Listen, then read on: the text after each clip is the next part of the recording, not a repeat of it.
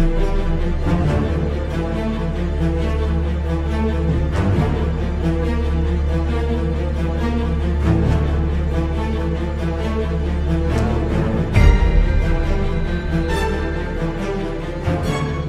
చెన్నై నుంచి కలకత్తాకు వెళ్ళేటువంటి రైల్వే మార్గం ఎప్పుడు కూడా నిత్యం బిజీగా ఉంటుంది. అయితే నెల్లూరులో కురుస్తున్నటువంటి భారీ వర్షాలు అదేవిధంగా వరదల కారణంగా ఈ రైల్వే ట్రాక్ కొట్టుకుపోయినటువంటి పరిస్థితి. ప్రస్తుతం మనం నెల్లూరుకి పక్కనే ఉన్నటువంటి కోవూరు అంటే కోవూరు పక్కనే ఉన్న ఒక పడుగుపాడు రైల్వే స్టేషన్ దగ్గర ఉన్నటువంటి రైల్వే ట్రాక్ దెబ్బతిన్న ఆ ప్లేస్ దగ్గర ఉన్న వరదల దాటికి ఇక్కడ రైల్వే ట్రాక్ ఏ విధంగా కొట్టుకుపోయిందో మనకు చాలా క్లియర్గా కనిపిస్తుంది. కింద ఉన్నటువంటి ఆ మొత్తం ఆ ట్రాక్ సంబంధించినటువంటి ఏదైతే ఆ కట్టు ఉంటుందో ఆ కట్టు మొత్తం అంతా కూడా మట్టి కొట్టుకుపోవడంతో క్లియర్గా మనకి ఇక్కడ కనిపిస్తుంది. రైల్వే పట్టాల కింద ఆ వాటర్ వెళ్ళిపోతుంది.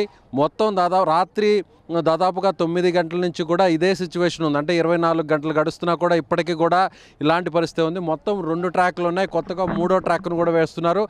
ఈ మూడు ట్రాకుల్లో ఇదే విధంగా గండి పడినటువంటి పరిస్థితి. ఇలా దాదాపుగా మూడు చోట్ల ఇక్కడ అదేవిధంగా మరొక రెండు చోట్ల దీనికి ఆనుకునే ఒక ఇరవై అడుగుల అవతల కూడా ఇలాంటి పరిస్థితి ఏర్పడింది. ఓవైపు రైల్వే సంబంధించినటువంటి అధికారులు స్టాఫ్ అందరూ కూడా పెద్ద ఎత్తున వారందరూ కూడా టీం అంతా అక్కడ ఉండి రీస్టోర్ చేయడానికి మొత్తం ఆ యుద్ధ ప్రాతిపదికన అక్కడ ఏర్ప- పనులన్నీ కూడా జరుగుతున్నటువంటి పరిస్థితి. దాదాపుగా చెన్నై నుంచి అంటే చెన్నై నుంచి నెల్లూరు మీదుగా అటు విజయవాడకు వెళ్ళేటువంటి ట్రైన్స్ అంతా కూడా పూర్తిగా ఆగిపోయింది.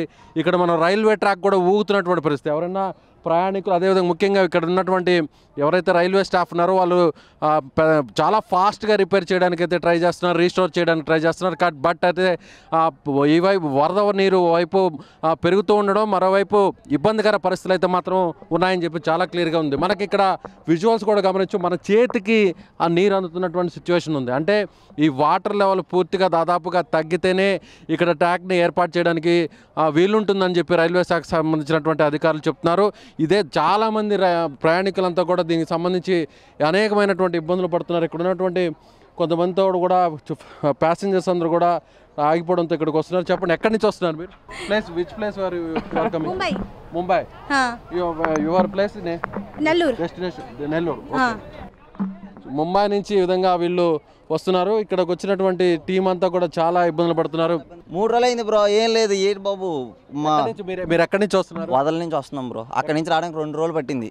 వదిలి. వదలి అంటే ఏ ఏ ప్లేస్ అది? ఒంగోలు దాటిన తర్వాత ఒంగోలు నుంచి సిక్స్టీ కిలోమీటర్స్. ఎప్పుడు వచ్చారు? మీరు ఎప్పుడు బయలుదేరారు? ఇక్కడికి రావడానికి టూ డేస్ అవుతుంది బ్రో మేము బయలుదేరి. దేంట్లో బయలుదేరారు మీరు? మేము బస్సు బస్సులో బయలుదేరాం ఆటోలో బయలుదేరాం. బో చాలా తిరిగాం.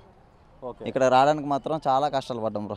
దాదాపుగా రెండు రోజులు అంటే ఈ రెండు రోజుల నుంచి కూడా పెద్ద ఎత్తున వర్షాలు రావడం వైపు ప్రకాశం జిల్లా మరోవైపు నెల్లూరు అదేవిధంగా చిత్తూరు. ఈ మూడు జిల్లాల్లో కూడా పెద్ద ఎత్తున వర్షాలు రావడం మరోవైపు వరద నీరు పోటెత్తడంతో ఎక్కడికక్కడంతా కూడా ప్రయాణికులు ఇబ్బందులు పడుతున్నారు. మనం మాట్లాడినటువంటి వారు కూడా బస్సులో ప్రకాశం జిల్లా నుంచి బయలుదేరి నెల్లూరుకు రావడానికి అనేక రకాల మార్గాలను ఎంచుకున్నారు. బస్సులు రోడ్లకి ఎక్కడికంతా జామ్ అయిపోవడం రోడ్లంతా కూడా కొన్ని చోట్ల దెబ్బతినడంతో వారు ట్రా బస్సులోను అదేవిధంగా ఆటోల్లోనూ వచ్చి ఇప్పుడు చివరాఖరికి ఈ ఒక్క మార్గమే. అంటే యువతల నుంచి అవతల వైపుకి వెళ్ళడానికి కేవలం ఈ ఒక్క మార్గం అందులో కూడా రైల్వే ట్రాక్ పడిపోయినటువంటి రైల్వే ట్రాక్ మీదే మీరు ఆధారం చేసుకుంటూ నెల్లూరుకు చేరుకుంటున్నటువంటి పరిస్థితి. ఇలా చాలా చోట్ల కూడా అనేక రకాల అవస్థలు పడుతున్నటువంటి పరిస్థితి. దాదాపుగా అటు గూడూరు నుంచి విజయవాడ వైపు వెళ్ళేవంటి. అంటే చెన్నై మీదుగా తిరుపతి నుంచి అదేవిధంగా గూడూరు మీదుగా విజయవాడ వైపు వెళ్ళేటువంటి రైళ్ళన్నీ కూడా పూర్తిగా రద్దు చేసినటువంటి పరిస్థితి. కొన్ని రైళ్ళను దారి మళ్ళించి రేణుగుంట మీదుగా అటు కడప లైన్ మీదుగా పంపిస్తున్నటువంటి పరిస్థితి. బట్ ప్రధానంగా ఈ లైన్ అంతా కూడా చాలా బిజీగా ఉంటుంది. చాలా సూపర్ ఫాస్ట్ ఎక్స్ప్రెస్లు కావచ్చు అదేవిధంగా మామూలు గూడ్సులు కావచ్చు. ఇలా ఎందుకంటే ఇది ఒక ప్రధానమైనటువంటి రైల్వే రూట్గా మనం చెప్పుకోవచ్చు. ఎందుకంటే చెన్నై నుంచి కోల్కతాకి వెళ్ళేటువంటి ప్రధానమైనటువంటి ట్రాక్గా దీన్ని మనం చెప్పుకోవచ్చు.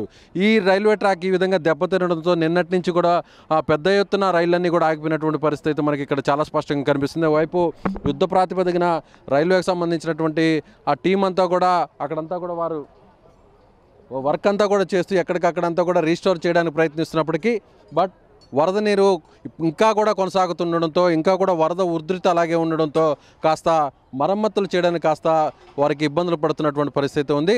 అయితే రేపు రాత్రికి ఇది తిరిగి రీస్టోర్ అయ్యేటువంటి ఛాన్స్ ఉన్నట్టుగా మనకి చాలా స్పష్టంగా కనిపిస్తుంది. ఇక్కడ మనకి సిచ్యువేషన్ చూస్తే వరద ఫ్లో ఎలా ఉంది వరద వృద్ధి ఏ విధంగా ఉంది. అయితే నిన్న రాత్రి దీనిపై నుంచి కూడా వాటర్ పోయినట్టుగా మనకి తెలుస్తూ ఉంది అంటే కొద్ది మేర వరద కాస్త తగ్గిముఖం పెట్టినప్పటికి కూడా అయితే పూర్తి స్థాయిలో రైల్వే పనులు చేయడానికి కాస్త ఇబ్బందిగా ఉన్నట్టుగా ఇక్కడ ఉన్నటువంటి సిచ్యువేషన్ చూస్తుంటే మనకు కనిపిస్తుంది. ఇక్కడ మనకి ఈ విజువల్స్ని ఎక్స్క్లూజివ్గా అందిస్తున్నటువంటి కెమెరామెన్ వంశీతో కలిసి విజయ్ సుమన్ టీవీ నెల్లూరు నుంచి.